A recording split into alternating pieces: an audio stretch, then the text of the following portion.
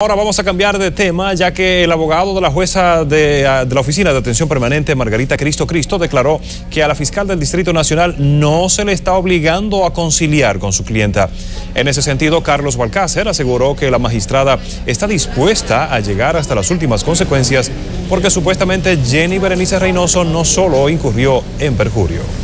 No hay problema, vamos por el pleito y estamos del lado del cañón, ¿eh? el cañón es el que da. Entonces la magistrada eh, está dispuesta a continuar hasta llegar a las últimas consecuencias con este caso. Ella siempre ha estado dispuesta a llegar a las últimas consecuencias. Solamente ella respondió una inquietud del superior de Jenny Berenice.